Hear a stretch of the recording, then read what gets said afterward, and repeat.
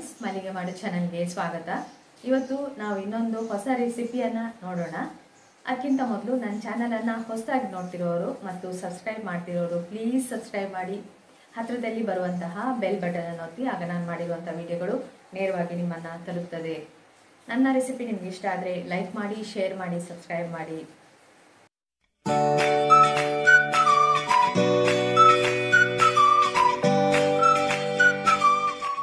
ಮೊದಲಿಗೊಂದು bowl ತಗೊಂಡಿದ್ದೇನೆ ಅದಕ್ಕೆ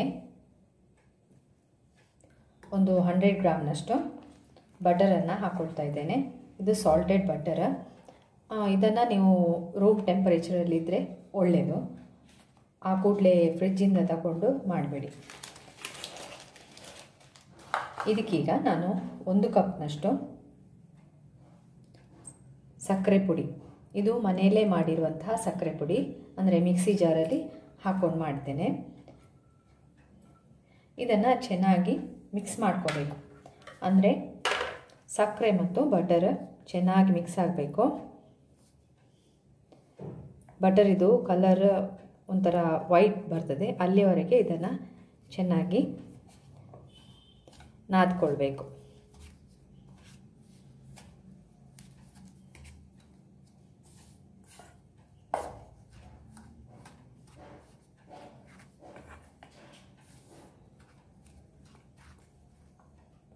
ಬಟರನ್ನು ಇಷ್ಟು ಬೀಟ್ ಮಾಡಿಕೊಳ್ಬೇಕು. ನೋಡಿ ಎಷ್ಟು ಸ್ಮೂತಾಗಿದೆ ಕಲರ್ ಕೂಡ ಚೇಂಜ್ ಆಗಿದೆ. ಇದಕ್ಕೀಗ ನಾನು ಒಂದು ಅರ್ಧ ಸ್ಪೂನ್ನಷ್ಟು ಎಸೆನ್ಸ್ ಹಾಕ್ತಾ ಇದ್ದೇನೆ. ಇದು ಆಪ್ಷನಲ್, ಬೇಕಾದರೆ ನೀವು ಹಾಕ್ಕೋಬೋದು. ಇಲ್ಲಾಂದರೆ ಸ್ಕಿಪ್ ಮಾಡ್ಕೊಳ್ಳಿ. ಹಾಕಿದರೆ ಸ್ವಲ್ಪ ಒಳ್ಳೆ ಸ್ಮೆಲ್ ಬರ್ತದೆ. ಇದನ್ನು ಚೆನ್ನಾಗಿ ಬೀಟ್ ಮಾಡ್ಕೊಳ್ಳಿ ಹಾಕಿದ ಮೇಲೆ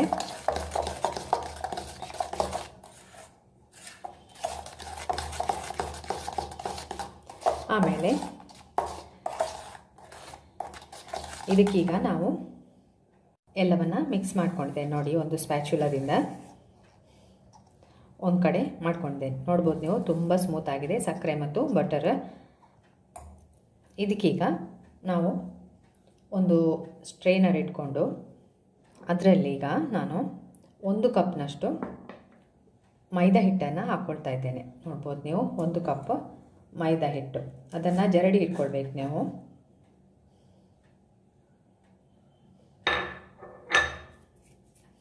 ಇದಕ್ಕೆ ಒಂದು, ಎರಡು ಸ್ಪೂನ್ನಷ್ಟು ಕೋಕೋ ಪೌಡರ್. ಆಮೇಲೆ ಒಂದು ಮುಕ್ಕಾಲು ಸ್ಪೂನ್ನಷ್ಟು ಬೇಕಿಂಗ್ ಪೌಡರ್. ಕಾಲು ಟೇಬಲ್ ಸ್ಪೂನಷ್ಟು ಬೇಕಿಂಗ್ ಸೋಡಾ ಹಾಕಿ ಜರಡಿ ಹಿಡ್ಕೊಳ್ಬೇಕು ಇದನ್ನು.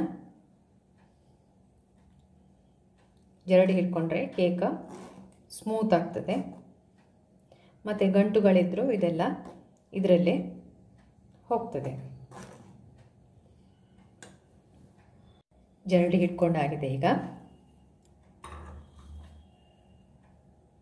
ಈಗ ಇದಕ್ಕೆ ಸ್ವಲ್ಪ ಸ್ವಲ್ಪ ಹಾಲನ್ನು ಹಾಕಿ, ದೋಸೆ ಬ್ಯಾಟರ್ ಥರ ಮಾಡ್ಕೊಳ್ಳಿ. ಸ್ವಲ್ಪ ಸ್ವಲ್ಪನೇ ಹಾಲನ್ನು ಹಾಕಿ ಕಟ್ ಆ್ಯಂಡ್ ಫೋಲ್ಡ್ ಮೆಥಡ್ ಮಾಡಿದರೆ ಬೇಗ ಮಿಕ್ಸ್ ಆಗ್ತದೆ.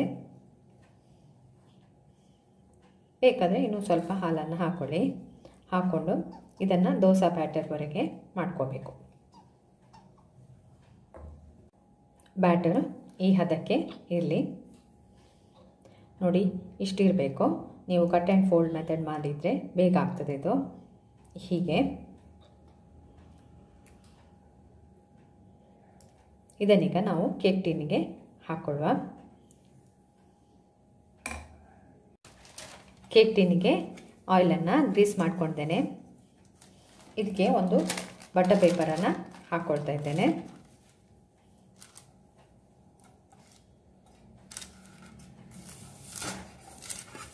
ಇದರ ಮೇಲ್ಗಡೆ ಕೂಡ ಆಯಿಲ್ ಗ್ರೀಸ್ ಮಾಡಿ ಸ್ವಲ್ಪ ಪೌಡರನ್ನು ಡಸ್ಟಿಂಗ್ ಮಾಡಬೇಕು. ಕೇಕ್ ಬ್ಯಾಟರನ್ನು ಕೇಕ್ ಟಿನ್ನಿಗೆ ಹಾಕೊಳ್ತಿದ್ದೇನೆ. ನೋಡಿ ಗ್ರೀಸ್ ಮಾಡಿ ಬಟರ್ ಪೇಪರ್ ಎಲ್ಲ ಹಾಕಿದ್ದೇನೆ. ಸುತ್ತಲೂ ಕೂಡ ಹಾಕ್ಕೊಂಡಿದ್ದೇನೆ ಬಟರ್ ಪೇಪರ್ ಕೇಕ್ ಟಿನ್ನಿಗೆ ಹಾಕ್ಕೊಳ್ತಾ ಇದ್ದೇನೆ. ಕೇಕ್ ಟಿನಲ್ಲಿ ಹಾಕ್ಕೊಂಡಾಗಿದೆ ಇದನ್ನು ಒಂದೆರಡು ಸರಿ ಟ್ಯಾಪ್ ಮಾಡ್ಕೊಳ್ಳಿ. ಏರ್ ಬಬಲ್ಸ್ ಎಲ್ಲ ಹೋಗ್ತದೆ. ನಿಮಗೆ ಕೇಕ್ ಮಾಡೋದು ಹೇಗೆ ಎಂಬುದನ್ನು ನೋಡಬೇಕಂತಿದ್ರೆ ನಾನು ಡಿಸ್ಕ್ರಿಪ್ಷನ್ ಬಾಕ್ಸಲ್ಲಿ ಚೆಕ್ ಮಾಡ್ಕೋಬೋದು. ಬೇರೆ ಕೇಕಿದು ರೆಸಿಪಿಯನ್ನು ಹಾಕಿದ್ದೇನೆ. ಇದನ್ನೀಗ ನಾನು ಒಂದು ತರ್ಟಿ ಫೈವಿಂದ ಫಾರ್ಟಿ ಮಿನಿಟ್ಸ್ವರೆಗೆ ಕಡಾಯಿಯಲ್ಲಿ ಬೇಕ್ ಮಾಡ್ಕೊಳ್ತಾ ಇದ್ದೇನೆ. ಕೇಕ್ ನೋಡಿ ಚೆನ್ನಾಗಿ ಬೆಂದಿದೆ. ನೀವು ನೋಡ್ಬೋದು. ಒಂದು ನೈಫ್ ಇಲ್ಲದ್ರೆ ಟೂತ್ ಪಿಕ್ಕನ್ನು ಹಾಕಿ ನೋಡ್ಕೋಬೋದು. ಏನು ಅಂಟಲಿಲ್ಲ. ಚೆನ್ನಾಗಿ ಬೆಂದಿದೆ. ಇದನ್ನೀಗ ತಣಿಲಿಕ್ಕೆ ಬಿಡಿ. ಒಂದೇನಾದರೂ ಬಟ್ಟೆಯನ್ನು ಮುಚ್ಚಿ ಚೆನ್ನಾಗಿ ತಣಿಬೇಕು. ತಣಿಯದೆ ನೀವು ಇದನ್ನು ರಿಮೂವ್ ಮಾಡಿದರೆ ಹುಡಿ ಆಗ್ತದೆ. ಕೇಕ್ ನೋಡಿ ಆಗಿದೆ ಈಗ. ನಾನು ಇದನ್ನು ಎರಡು ಕಟ್ ಮಾಡಿ ಇಟ್ಕೊಂಡಿದ್ದೇನೆ. ಅಂದರೆ ಎರಡು ಪೀಸ್ ಮಾಡಿ ಇಟ್ಕೊಂಡಿದ್ದೇನೆ. ತುಂಬ ಸ್ಮೂತ್ ಆಗಿದೆ. ನೋಡಿ. ಎರಡು ಪೀಸ್ ಮಾಡಿ ಇಟ್ಕೊಂಡಿದ್ದೇನೆ ಈಗ. ಇಲ್ಲಿ ಈಗ ನಾನೊಂದು ಬೌಲ್ ತಗೊಂಡಿದ್ದೇನೆ ಅದರಲ್ಲಿ ಒಂದೂವರೆ ಕಪ್ನಷ್ಟು ನಾನು ವಿಪ್ಡ್ ಕ್ರೀಮ್ ಹಾಕ್ತಾ ಇದ್ದೇನೆ. ಇನ್ನು ಅರ್ಧ ಕಪ್ ಹಾಕೊಳ್ತಾ ಇದ್ದೇನೆ. ಇದನ್ನೀಗ ಚೆನ್ನಾಗಿ ಬೀಟ್ ಮಾಡ್ಕೊಳ್ಬೇಕು. ವಿಪ್ಡ್ ಕ್ರೀಮ್ ಆಗಿದೆ ಈಗ. ಇದನ್ನೀಗ ಕೇಕಿಗೆ ಹಾಕ್ಕೊಳ್ಳುವ. ಮೊದಲಿಗೆ ಒಂದು ಕೇಕ್ ಬೋರ್ಡನ್ನು ತಗೊಂಡಿದ್ದೇನೆ ಅದಕ್ಕೆ ಫಸ್ಟಿಗೆ ಸ್ವಲ್ಪ ವಿಪ್ಡ್ ಕ್ರೀಮನ್ನು ಹಾಕ್ಕೊಳ್ಳಿ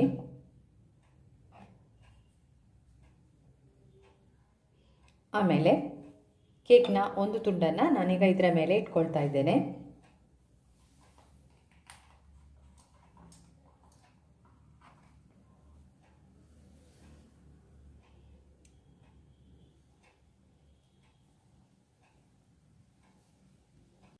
ಇದಕ್ಕೀಗ ಸ್ವಲ್ಪ ಶುಗರ್ ಸಿರಪನ್ನು ಹಾಕ್ಕೊಳ್ಳಿ ತುಂಬ ಮೆತ್ತಗಿದೆ ಕೇಕ. ಎಲ್ಲ ಕಡೆ ಶುಗರ್ ಸಿರಪ್ಪ ಹಾಕಿ.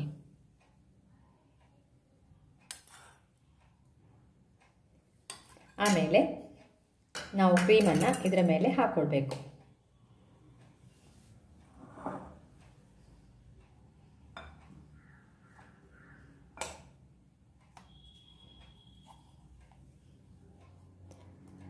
ಎಲ್ಲ ಕಡೆ ಕ್ರೀಮನ್ನು ಹಾಕ್ಕೊಳ್ಳಿ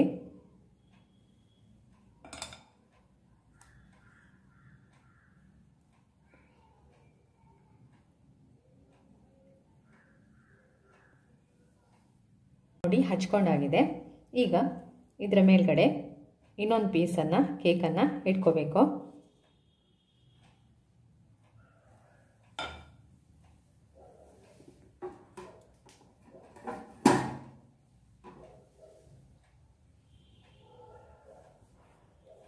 ಈಗ ಇನ್ನೊಂದು ತುಂಡನ್ನು ಇಟ್ಕೊಳ್ತಾ ಇದ್ದೇನೆ. ತುಂಬ ಸ್ಮೂತಾಗಿದೆ ಸರಿಯಾಗಿ ಇಟ್ಕೊಳ್ಳಿ. ಈಗ ಇದರ ಮೇಲೆ ಕೂಡ ನಾವು ಶುಗರ್ ಸಿರಪನ್ನು ಹಾಕಬೇಕು.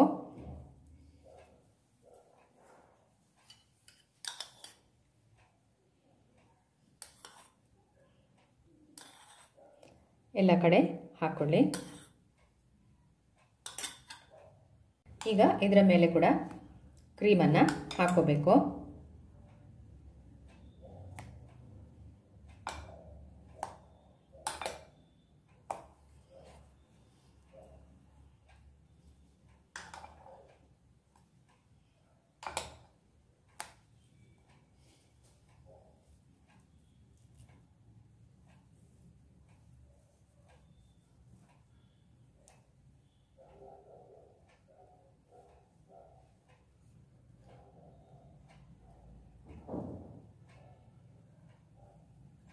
ಎಲ್ಲ ಕಡೆ ಕ್ರೀಮನ್ನು ಹಾಕೊಂಡಾಗಿದೆ.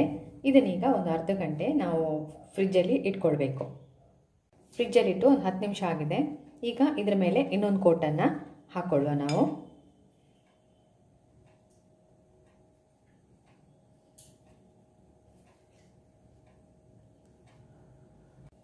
ಎರಡನೇ ಕೋಟ್ ಕ್ರೀಮ್ ಹಾಕಿ ಆಗಿದೆ. ನೋಡಿ, ಎಲ್ಲ ಅಡ್ಜಸ್ಟ್ ಮಾಡಿ. ಈಗ ಇದರ ಮೇಲೆ ನಾನು ಡೋರೆಮಾನಿದು ಫೇಸ್ ಮಾಡ್ತೇನೆ. ಅದನ್ನು ಈಗ ಹೇಗೆ ಮಾಡಿದೆ ಎಂಬುದನ್ನು ನೋಡುವ.